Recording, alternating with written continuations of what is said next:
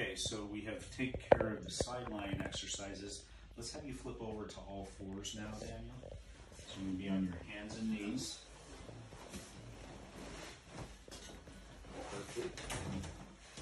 Okay, so from here, you know, we, we learned when you were laying on your back um, about, you know, your pelvic tilts. Let's do some pelvic tilts now where from, from this position, first of all, you can just let your back sway like an old sway back horse. That would be your belt buckle moving away from your chin, right? And now let's go the other way where your belt buckle moves towards your chin. Okay, more like a mad cat. So your pelvis is going to be in this position. Okay, but try to go to a little bit more of an extreme. Good, and then relax. So that's an anterior tilt. Remember how your belt buckle's going to the six o'clock, and now belt buckle up. You got it.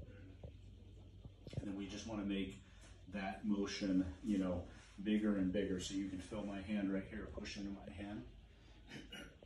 there you go. And eventually we want to get even more rounded than what you are right now. But just back and forth there to start kind of feeling that motion. We're going to do that about 10 times. There you go. Yeah, that one was a little better. You engaged your pelvis a little bit more.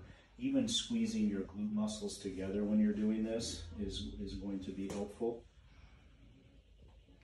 Perfect.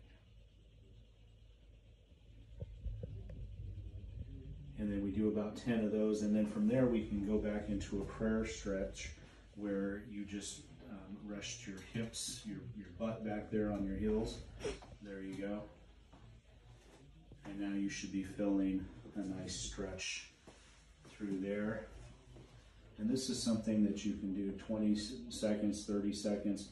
Again, people will work into doing this for several minutes just to, to stretch all of this stuff out. How does that feel, Daniel? Good. So that's more, this is, that was your warm up, followed by a stretch, and then we're gonna move on to some stabilization next.